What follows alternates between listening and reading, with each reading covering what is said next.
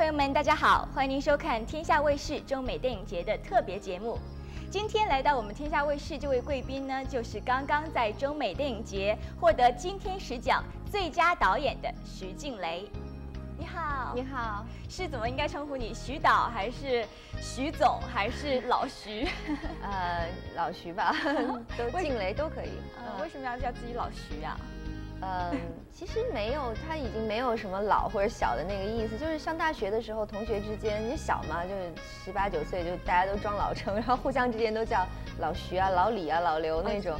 后来因为好多朋友都是大学同学那边过来的，所以就一直叫老徐老徐，所以已经不意味着说他是老徐和小徐，是说年轻和老的意思，所以。听习惯了，嗯，但是您当时上大学的时候，好像就是特别的蔫儿的那么一个人，对 对对。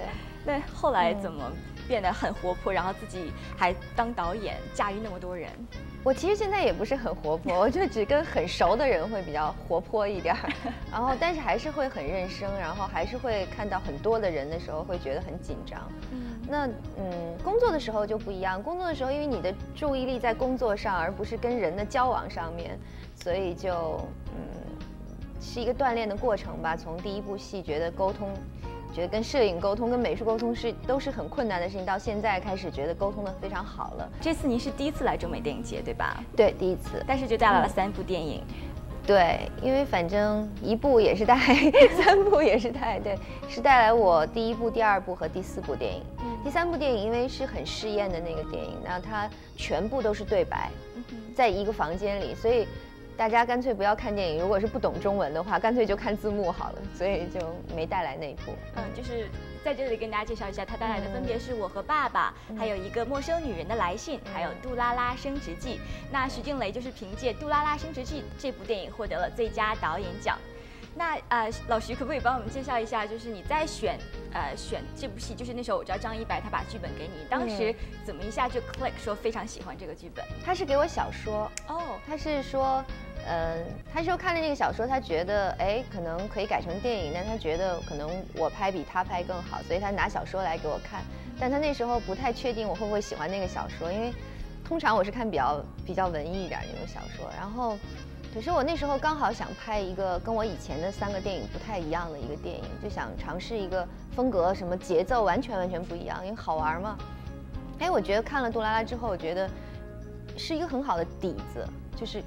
可以建往上建立很多东西，然后拍成我想拍的那种比较都市感、节奏很快那那那样的一个电影。所以后来我就说好，然后后来我们就一起把那个小说给买下来，电影版权买下来，然后我就开始找跟两个编剧一起来弄剧本那些。嗯，那当时看的时候，你就已经想象中有有四个女生，这样是一个都市的爱情喜剧，然后有一个这样的非常自信、高傲的外企男主管。嗯，看的时候我会觉得其实改编是有难度的，因为它实际上是一个二十万字的小说嘛，如果变成电影的话，实际上容量大概也就在两三万字左右。那但但是我觉得，因为它底板可以很好，我们所以剧本在。当时改动是实际上是比较大的，跟小说并不是很一样。但因为你你你设计一个剧本嘛，它可能跟小说不太一样。那剧本里面你需要有一些人物是不同的，比如说我们说生旦净末丑，然后有一个戏里要有青衣，要有花旦，要有比较搞笑一点的那种人物。所以后来就保留了三个人物，基本上保留三个人物，然后去掉了几个人物，增加了一个人物，就是伊娃，实际上是我们。就是那个增后面增加的，对因为因为毕竟伊娃是吴佩慈扮演的那个，不是是李艾啊李艾啊，就是因为毕竟电影跟文学那种表现形式不一样，然后长度和篇幅也不一样，所以在剧本设计的时候肯定要做很多改动。嗯嗯，那你接下来刚刚拍完了《将爱》，然后有另外一个剧本正在准备当中。对，呃，《将爱情进行到底》是我演的一个戏，然后。我觉得也是多少年前了，然后你们也是算是我这么多年来真正算主演的一个戏，因为其他戏像像《投名状》啊，像《商城》，包括《新宿事件》那些，其实对我来说都有点玩票的性质，然后跟那些好玩的人去合作啊。但是呃，《将爱情进行到底》这个是我真正在演一个角色，有这种感觉的一个，这种感觉比较强的一个戏。我有读过你一篇博客，特别好玩，就好像是你们公司就是开了那家网网络书刊的那个公司，可能哪个职员吧，然后你特为他担心，说他三十多岁了，然后他的祖父祖母在为他愁，说怎么还没有抱孙子，你还帮他有一个征婚启事。那你们家人有没有强迫你干嘛干嘛的？哦，我们家人完全没有。好。对我我那种我们家那种就是跟真的跟一般的家庭不太一样，就是。像我到了我这个年纪，我父母从来没有说你没从来没有催过我说你什么时候结婚。有时候我觉得可能，其实我我父母觉得是那个谁都不合适，我不知道。对，所以呃，只是最近吧，偶尔他们会提一句，就是说你有没有结婚的打算啊这些。我说没有，好，这个话题就结束了，就这样。但我觉得你爸爸好像他什么东西都设计特别好。你看你小的时候把他管你特别严，现在就不管你了，就是任你去飞。但是你当时做导演的时候，你爸爸有没有反对？他没有反对。哦，我爸爸是那种，就是我觉得我身边很多我的亲人比我事业心都强。就我觉得我有时候说大家说徐静蕾为什么干那么多事情，我觉得我都是被他们逼的，因为他们。真的像我父母很少会跟我谈感情方面的事情，说的永远都是说要好好学习啊，然后要再多读些书啊，然后再多做一些事情啊。我爸爸反而是我那个有三年没有做导演拍电影的时候，我爸爸天天说我，说你什么的，你的正经事情不做，办什么杂志啊？然后你应该去拍电影。包括我身边还有就很家人的那种朋友也是，就是我老被他们念，就是所以。好像大家都没那么关心我的，就我家里人反而没有那么关心我的那个私人生活。可能是因为我觉得我爸爸对他对我的教育很自信，他觉得小时候已经该管的、该教育的全都教育，现在我已经呃可以放手让我出去撒欢了。对，那你爸爸有没有说，要不然咱们再回去做个书法家什么的吧？你看你的字体都专门背那个方正，有一套叫静雷的呃简体简体字。呃，其实他那时候让我学书法，并没有说期望我当一个书法家，他只是觉得我爸爸怀着一种很朴素的愿望，就是说一个女孩如果字写得漂亮的话，至少不会让人觉得这个人看起来很没文化，所以就他的出发点也就是这样，所以从来我爸爸没说你要当一个书法家。嗯，谈一下谈一下你跟黄立行的合作吧。呃，黄立行，嗯。我觉得演员是这样啊，就是平常你看娱乐新闻的时候，特别多演员，然后满眼都是演员，就演演员很多。可是你每次到要演要拍戏找找角色，就找你这个为你这角色找演员的时候，就觉得很难。然后就是没有人呢，还有谁？然后每次我又是一个平常不太看电视的人。所以我每次在找演员的时候，我都会跟我旁边的同事啊，或者我都会上去看娱乐新闻，就是都有什么什么什么人，然后打开他们的照片去看。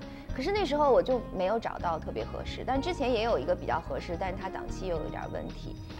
所以后来我就突然想到，很多年以前，我一个我在筹备另外一个电影的时候，我一个朋友他就跟我推荐黄立行，那个大概是在四年四年。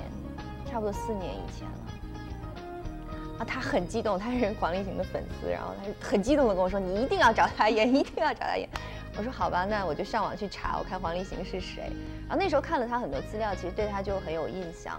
但后来那个戏没有拍成。等我再到这个戏，我就每天在发愁找什么演员。然后我一开始打开电视了，已经，因为我平常根本不看电视，我已经打开电视，然后看所有的娱乐新闻去查都有什么人。后来我就有一天突然想到，哎，我说怎么把黄立行给忘了？因为他并不是那种，就是很老经常出来做一些，对对对，不是那种，所以你很难会想到他，真的。然后但有一天晚上，我就突然就在看电视的时候，我就突然想，哎，我怎么把黄立行给忘了？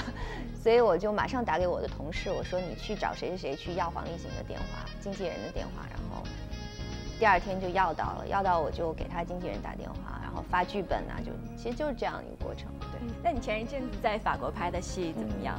我看有些剧照特别美，也风景。呃，在法国那个，因为我们故事是三三段，因为那个电视那个之前是一个电视剧，也算是我拍的，嗯，就让大家都知道我更多的一个电视剧。它基本上我那段是讲大学的初恋的那种感觉，所以我们这个新的戏就设计了三个结局，就是说一对大学时候的恋人，在可能十年以后，也许他们会结婚了，然后也许他们再也没有见过，也许他们就是又怎么怎么样了，就是设计出了三种可能性，就这样的一个片子。然后我们在法国拍的是第三部分，而且你们还到孟德斯鸠的那个 castle 住在那边，对吗？对，我们住在我我们就住在那儿。对，好棒！我跟亚鹏还有另外一个人，我们三个住在不同的楼层那种。那我知道，那你在导演完你呃这部《杜拉拉升职记》之后，又监制了一个麦当劳的广告，对不对？嗯，对。那当时为什么又想要做监制呢？啊，其实我算是导演里拍广告拍的很少的，对，以前拍过 AMD 的广告，然后拍过一个诺基亚的广告，这次是我觉得他们的理念理念很有意思，就是说快乐就是零负担，那其实他是在倡导一种生活方式嘛，所以就那就觉得好玩吧。嗯，那在节目的最后，可不可以跟我们的洛杉矶观众朋友分享一下，你觉得快乐是什么？嗯。我觉得快乐这个东西呢，其实要说起来也很复杂，因为复杂在哪儿？就是说你每一个阶段，其实你需要快乐的口号是不一样的。就像座右铭，人家问我说座右铭是什么，我说每个阶段我的座右铭都不一样。有的时候你会说坚持就是胜利，有的时候你会说退一步海阔天空。其实这是完全相反的，但是你处在不同的阶段。那我觉得基本上快乐来说就是知足。嗯，就是说中国人说知足常乐。因为你有多少东西，你都如果你不知足，你都希望有更再有更多，都会不满足。那如果有一点点东西，你就觉得很知足的话，就，但有的时候也不能太知足，所以这个很难说。对。那我知道你来洛杉矶已经差不多一个多月的时间了，然后也在不停的工作，有 meeting 啊，还有一些其他的事情。那你下一部戏的剧本定好了吗？呃，我下一部的剧本已经写到了第两稿半，但是现在还不是很满意。对，然后另外我也在想，因为其实整个电影过程当中，最痛苦的是一头一尾，一头就是做剧本，一尾就是发行，所以我现在处在第一个最痛苦的阶段，因为你现在的每一个文字和句式上的改变，都牵动着将来这个戏的影像是怎样，所以那个会很纠结，然后。包括每一个人物他的性格的设置会怎么样，他的走向会怎么样，甚至是这个戏更 drama 一些，还是更喜浪漫喜剧一些，还是更，因为我是讲一个就是 banker 的，就投资银行的事儿，还是更商业商战一些，所以我我每天就纠结在这些事情里面。对，那我刚才也跟你。之前我们聊天，你说你觉得那个 Hereafter 的节奏太慢了。你觉得你在拍戏的时候节奏你是怎么掌控的？你觉得怎么样的节奏大家会比较喜欢？看我拍什么样的电影。像我拍前三部电影的时候，我觉得所有节奏是我的心理节奏，就我不太不太会去从观众角度想，观众看到那儿会怎么样。但是我拍杜拉拉的时候，我所有的想都不是我的节奏，都是观众的节奏。我都会去站在观众的角度想，好，观众现在坐在电影院里，灯黑了，然后开场。我看到什么样的东西会让我觉得，哎，这个电影还挺有新鲜感的。然后看到第十分钟的时候，如果还没有更新鲜的东西元素进来的话，如果我是观众，我会觉得累。嗯，然后其实如果商业电影，我觉得就是会想观众想的非常多，几乎剪接的整个过程都在想观众。那我下一部电影应该还是偏商业电影，所以嗯，会考虑。不像前面三个电影，我我不管任何人，我只想我自己觉得怎样舒服就好。那下一部电影也是会比较考虑观众的。那有没有想到以后会跟好莱坞这边的影视公司有怎样的一个深入的合作呢？这个要看机会，因为我觉得首先我是中国人，那中国的电影市场正在一个非常好的成长期。那我觉得首先要做的是把中国的市场搞好。然后至于美国这边呢，如果有合合适的剧本、合适的机会，那当然有。好的合作是等于是一个多出来的一部分嘛，那就很好。但是我的重心肯定还在还在中国。